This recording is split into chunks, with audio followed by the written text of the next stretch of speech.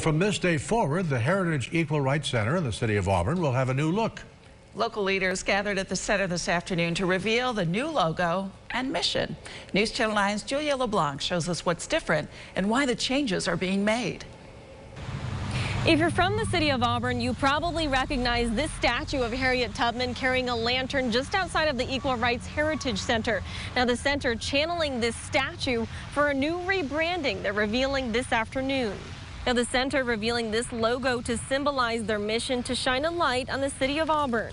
There's also new signage and a website focusing on awareness and education, declaring the center the official welcome center and tourism hub for the city of Auburn.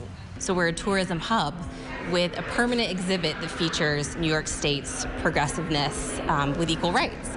So it's something that we really wanted to brand ourselves and give ourselves a marketing campaign to really bring tourism to Auburn, New York.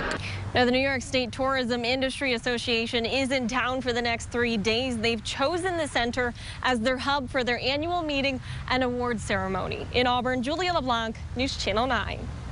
And we're told when the building was built, it was funded by the state of New York. It is now city owned. Part of this new rebranding is making the building their own. I think it'll help a lot with uh, improving tourism It there in Auburn. should So much to offer. bring more people to the city. Mm -hmm.